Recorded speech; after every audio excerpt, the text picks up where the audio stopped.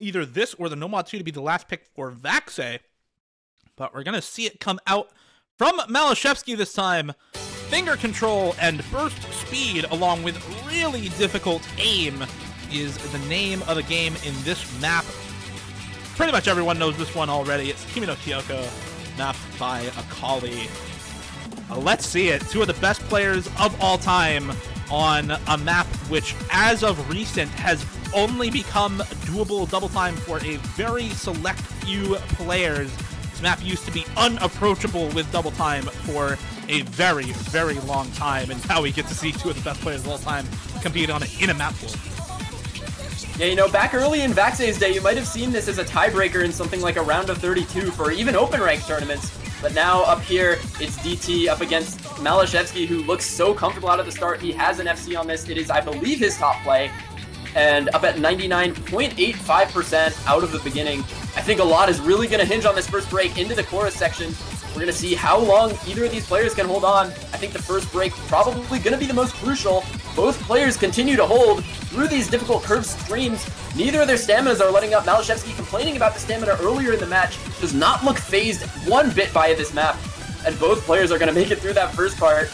And I really do think now the first break is really going to be critical to who wins this map.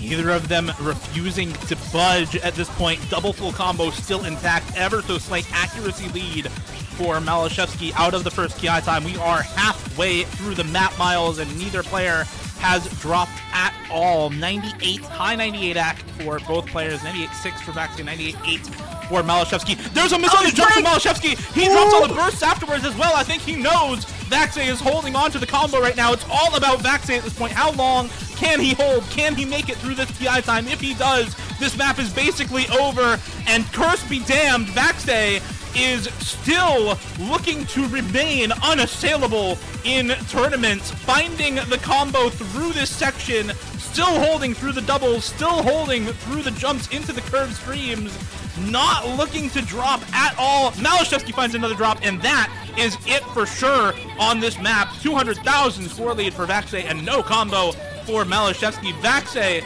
is going to take us to his last pick, looking for the tiebreaker against Maliszewski in this show match. No way he FCs this though. At this point, that is the last thing we're looking at. Vaxei holding on with a 1780 combo into the last chorus section. Let's see if he can hold on. This would be an absolutely unreal play to get in a tournament setting. Maliszewski continues to drop. It's already over. It's a formality at this point. But can this score be set? Can Vaxei show why, once again, that he is the GOAT? Why he is widely considered the greatest tournament player of all time, even up against stark opposition from Maliszewski into the ending. Vaxei gonna be getting an FC on Kimi no Kioku. what that is actually deal? wild. Warm-ups? way. Yeah, let No me let me you Candyland and warm ups. Oh yeah, Kimi no Kioku double time? Ah, I remember this map. This used to be a tiebreaker back in my day. Let's play a DT and let He me get that care. FC. Let He me get that FC care. too. That is absolutely nuts from Vaxei. Not the pick from Maliszewski. This is Vaxei's map.